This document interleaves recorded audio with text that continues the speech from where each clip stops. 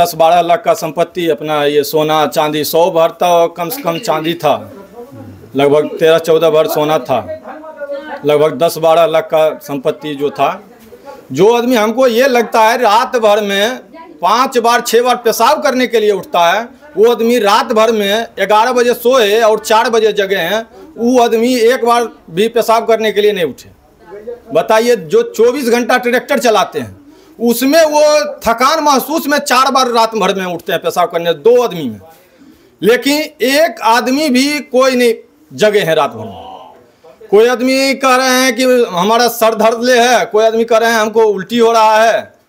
बताइए, कोई सुंघाने वाला काम कर रहा है, स्प्रे वाला टाइप कर रहा है, मता दिया अपना घर में, निश्चिंत से लूट लिया घर। बिहार में शराब बंदी है, लेकिन बिहार में शराब बंदी जो है ये आपको दिख रहा है किस तरह से लखीसराय ज़िले के मोहनपुर में रात्रि में चोरों ने पहले शराब पिया और उसके बाद चोरी की घटना को अंजाम दिया। वो भी शराब कहीं इधर उधर नहीं। सुरजी चक्का सुमन चौक जो है, वहाँ से जो मुख्य सड़क जाती है मुरबरिया पुल के तरफ़, उसी मुख्य सड़क पर चोरों ने बैठ करके ये बढ़िया बढ़िया क्वालिटी का जो बड़े बड़े लोग शराब पीते हैं, वो शराब को उन्होंने पिया। ये विदेशी शराब है, ठंडा का बोतल है, चाट, चाउमीन, सिगरेट, सबको पिया और उसके बाद चोरी की घटना को अंजाम दिया। अब चोरों के पास शराब को किसने सप्लाई किया? चूँकि बिहार में तो शराब बंदी है, आखिर वो कौन है शराब? तस्कर जो चोरों के पास शराब पहुंचाता है और जिसको पीने के बाद चोर मदमस्त हो जाते हैं और वो किसी के घर में घुस जाते हैं छत के रास्ते से और चोरी की घटना को अंजाम देते हैं।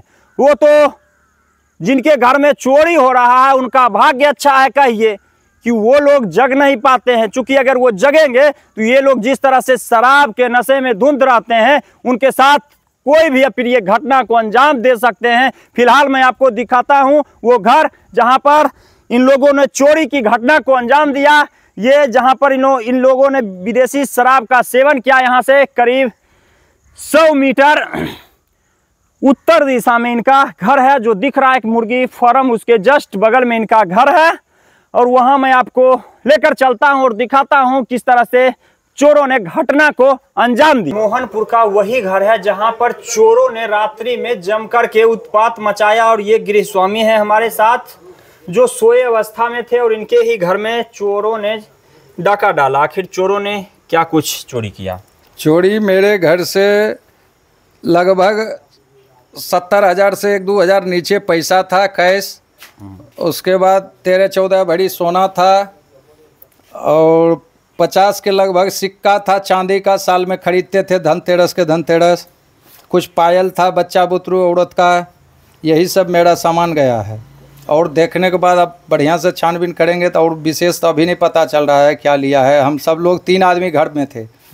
एक ठो बाहर में सोए थे चाचा और दो गो हम घर में थे। हमको कुछ पता नहीं, रोज उठते थे पाँच बार, सात बार पेशाब के लिए, रात में कुछ कहीं नींदे नहीं टूटा हमको कि क्या हो रहा है मेरे घर में।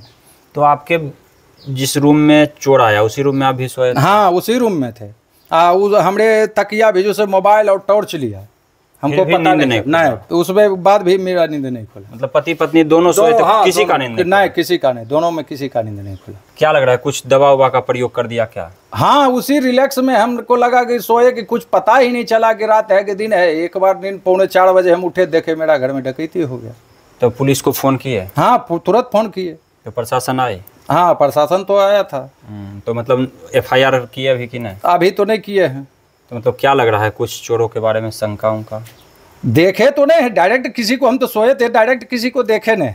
हम्म, ऐसे घूमते फिरते कोई आदमी को हम देखे थे शाम में लेकिन डायरेक्ट हम किसी आदमी को नहीं देखे।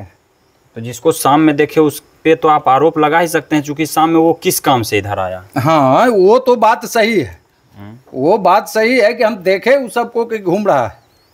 क्योंकि आपको संदिग्ध गतिविधि लगी है वो लोग हाँ हाँ तीन चार आदमी घूर रहा था युवक है तीन चार आदमी गोढ़ी टोला से था बाभन भी उसमें था ओलीपुर का आदमी था तीन चार गो शाम में घूम रहा था मोटरसाइकिल से। हम्म, हमारे घर के इर्द गिर्द रोड धर के जा रहा था तो हमको क्या पता था कि वो क्या करेगा नहीं करेगा।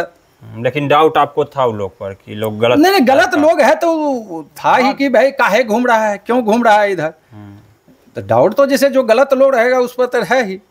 ऐसा थोड़े नहीं रहेगा। से कोई इंसान आदमी थोड़े चोरी किया तो कोई चोरे डकैत ने किया। हम्म, हम्म। तो प्रशासन से क्या मांग करते हैं? प्रशासन पर यही मांग करते हैं इस पर कार्रवाई हो। बने चले प्रशासन से तो हमारा मदद करे। सामान को अ, अथी लिया है वो- उसको बरामद करके वापस करवावे।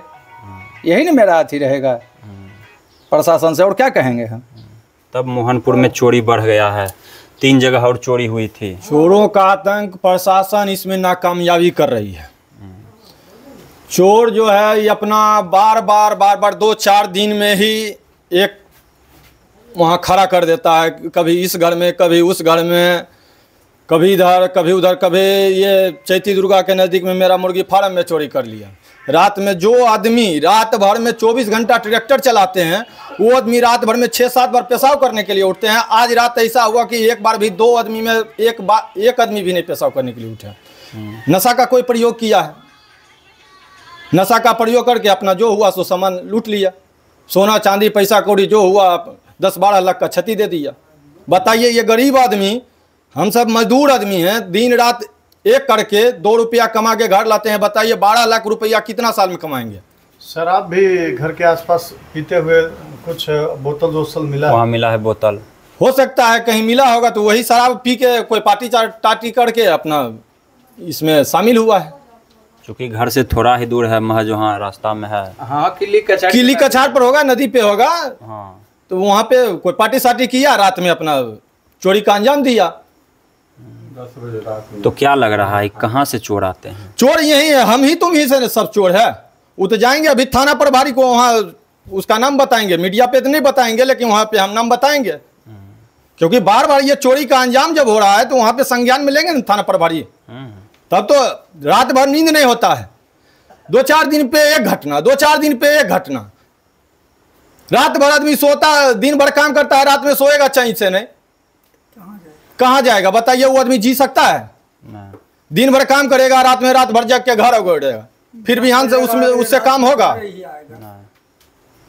ग्यारह बजे रात में सोवे करते हैं चार बजे तीन बजे से गाय के खाना देने के लिए उठिए जाते हैं बताइए चार घंटा नहीं सोएगा तो वो आदमी जीवित रह सकता है? पुलिस का पेट्रोलिंग रात में लगातार रात में भी तो चल ही रहा था पुलिस। रात में पेट्रोलिंग होता है। पुलिस आता है। अपना सायरन बजाते आते हैं सायरन बजाते जाते हैं। वो गली गली में थोड़ी खोजते हैं कहाँ क्या है नहीं है। तो आप सजेशन दीजिएगा पुलिस को तब ना कि किस तरह से वो करे। आपका बात नहीं मानेंगे तो। ठीक है हम थाना प्रभारी के पास अभी जा रहे हैं। हाँ। वहाँ पे बताएँगे। तो सुन रहे थे इन लोगों की आखिर किस तरह से चोरों ने इस घर में यही छत का रास्ता है। क्योंकि घर में आने का इकलौता रास्ता मुख्य द्वार के अलावा ये छत है और छत पर से ही चोर चढ़ करके जितना चोरी हुआ है मोहनपुर में सभी जगह चोर जो है घर के अंदर छत पर से ही आया है।